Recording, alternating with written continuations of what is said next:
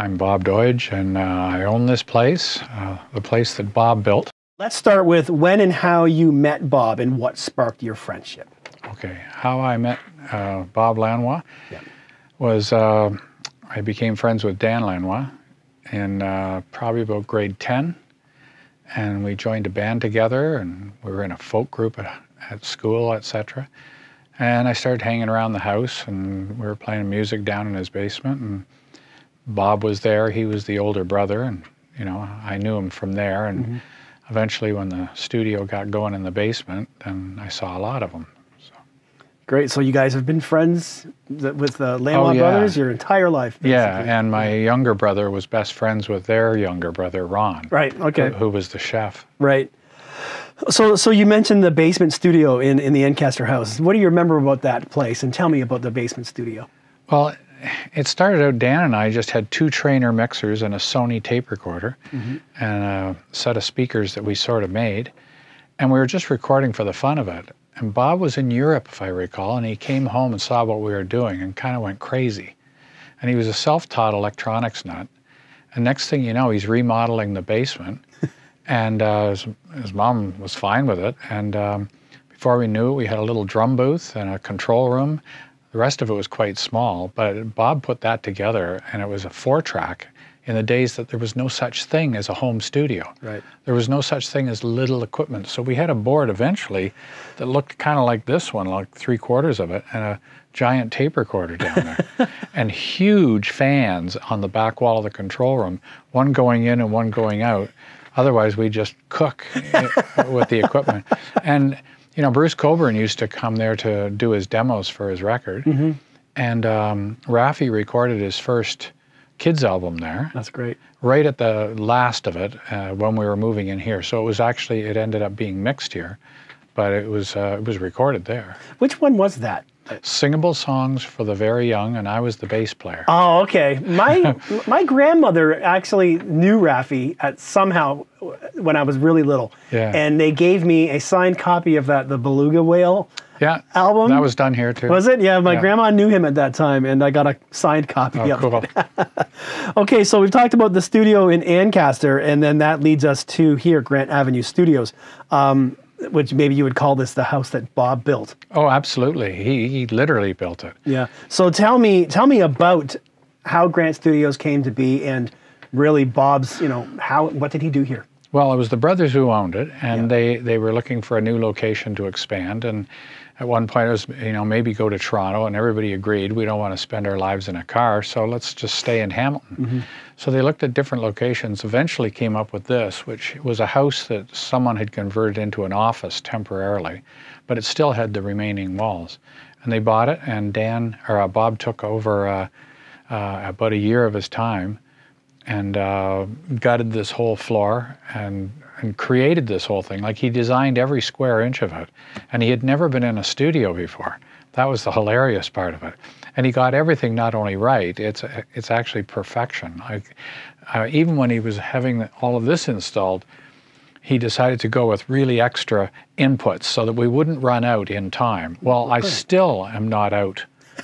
Like I still don't have any problem hooking something up or Yeah. complex stuff because there's so many connections.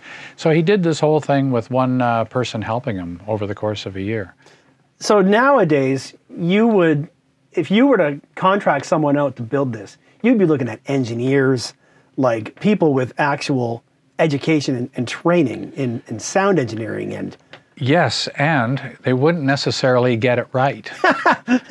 and that can be seen when you look at, I won't mention the concert hall in Toronto, but Right. it was sort of computer designed, and it is a dreadful place. It sounds like you've got earplugs in. Yet Massey Hall, you know, Mm-hmm. Yeah. turn of the century, and it was just, it's perfection. I was just there uh, Saturday night to see The Lightfoot. opening? It- Yeah. and it was just perfect. You know, that's great. So he, so he did all this without a degree, self-taught. Totally, basically. yeah, and including all the electronics. You Yeah. Mm-hmm. know, like he knew that stuff inside out or taught himself. That's really impressive. But I think the coolest story when it comes to this, because it is, is I think I, I mentioned it before, is the most unnoticed part. Is people comment on these walls sometimes and how Mm-hmm. lovely they are. Well, they're cork bark, and he picked this to put on the wall. But this is Bob Lanois in a nutshell. When it comes to you, you get a one foot tile with nine squares in it. Right. Well, he started putting them up and found them very distracting. So he stopped and he went to the library and spent a few days studying abstract. Okay. And what it does when you have uh, confronted or are looking at something with linear walls, etc., your eyes become drawn to it. But with abstract, you don't see it, you look past it. Right. Now, when you're in here looking out at a singer having a bad day, you really, really do want eye to eye contact. You mm-hmm. don't want to be looking at the walls and distracted. So, what he did is he came back here and he got a table with a T square on it, and he took all of these tiles and randomly cut them with a skill knife Right. and broke them all into little pieces. And he started over there and started working his way around. And this whole thing is done one piece at a time. Now, when you do look out at the drum booth, you never see this Right. until you I point it out to you. Yeah. Yeah. And that's Bob Lanois in a nutshell. He came up with this concept, studied it, and then came in here and did it. And it, it's probably the most unnoticed, which was his intention, uh, part of the building is, you know, it's just there. you know. Right. So, tell me what it was about working with Bob in this space before he moved on. Um, well, he was always on the money. He was mm-hmm. always coming up with cool ideas. You know, at one point he thought when they still they owned it for nine years Right. up until '85. Yeah. And you know, at one point he decided that it'd be really cool for the Toronto clients is if we had a big old limo and a driver to pick the people up. So at mm-hmm. one point he bought a real 60s Cadillac limousine, uh, like a stretch limousine, and hired a person to drive once in a while, and he'd pick up the clients, and it, they thought, you know, this was pretty special. And he was always coming up with kind of I'll, I'll call them wacky ideas, but they were actually really, really smart ideas. You know, they were just really abstract. They were like Yeah. right out there. That's great. Um, so tell me about some of the things he did. We talked about the um, the sand in the in the in the walls or in the mirrors. You talked about hanging microphones. Uh, t- so tell tell me, and I'm gonna do I'm gonna get B-roll of the things that you're talking about while we walk around. So tell me about some of the customizing that Bob did to make this space unique and what it is. Well, number one, Dan and I were working in Toronto all the time. I was bla- bass, he was uh, guitar or steel guitar.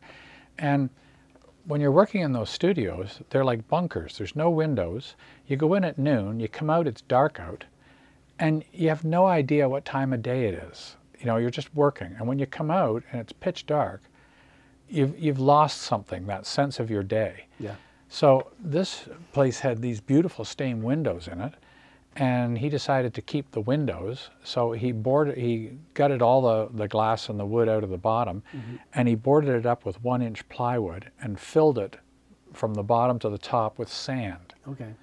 Now there's lead over top of that to, to, to further enhance the deadening qualities. Mm-hmm. But then he put layers of glass either side of the stained glass so we could have in the daylight these windows. Everybody comments how pretty they are. But more importantly, as the sun's going down, you feel it going down.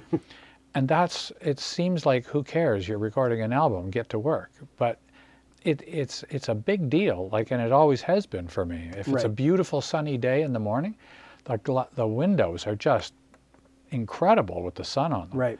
And when it's a dark, dear, dr- dingy day, you get that sense of it because everything's Mm-hmm. kind of gray out there. Right.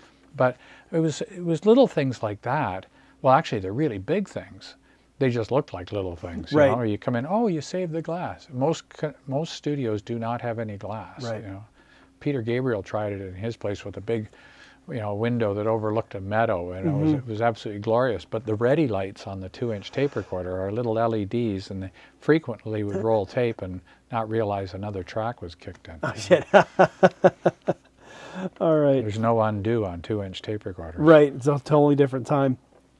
Uh, so, tell, uh, did you ever hang out with Bob at his cabin? No. No, you didn't. Oh, Okay. well, one day. One Yeah. day. okay. Uh, when he first moved in there, there was a great big huge well, and I had always lived out in the country, so I had experience getting a well running. and- Okay. And uh, that's actually a funny story. I showed up and drove up the driveway, and Bob's out there with this archery set. And I hadn't shot, I always had bows and arrows when I was a kid. Yeah. He says, Want to try? I said, I haven't shot for a long time. I hauled back on this thing and I shoot left-handed, so it's kind of clumsy. I hauled back on this thing. I didn't just hit the bullseye. I hit dead center on the bullseye. and, I, and I couldn't have done it in a million years. Yeah, yeah. but I think he thought that's enough of that. so so a couple so now we're going to get a little bit deeper um, having having been gone for only seven months um, what do you think is the void that's left in his passing Well, for me, it's calling him up and getting on to some pretty crazy discussions uh, about recording equipment and, and philosophies on recording equipment and on recording, period.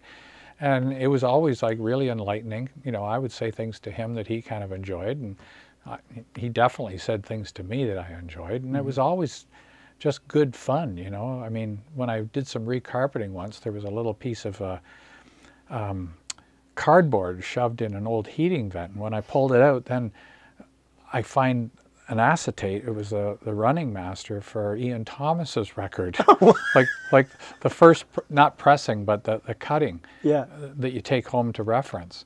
And that thing was sitting there as a spacer.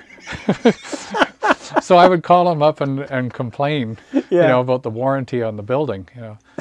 So I was always giving him a hard time with that. That's that. good. Now, so now we're going to talk a little bit about Bob's sort of legacy, and um, you can you can answer this however you want, whether it uh, relates to this building, to music in general, or to you. The question is, in your opinion, what is Bob's lasting impression or legacy in regards to Canadian music or music in general? Well, his legacy would, right off the top of my head, is there's a studio here that is still running and working and making Gordon Lightfoot records 45 years after he put it together. Mm-hmm. And it's really important when you when you look at the thousands of recordings that have been done here. I mean, some you've never heard of, some you know all about, but they're really important pieces of Canadian history and more importantly, world music. Mm-hmm. Like like it's not restricted to oh look at us Canadians. I mean there's there's songs that came out of here that have gone around the world many times.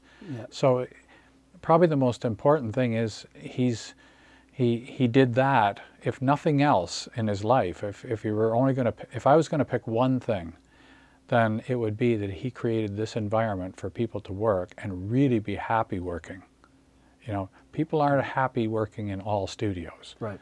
I mean some more than others but Yeah. when people are here they walk out really happy with what they've done because uh, he created the environment that made it work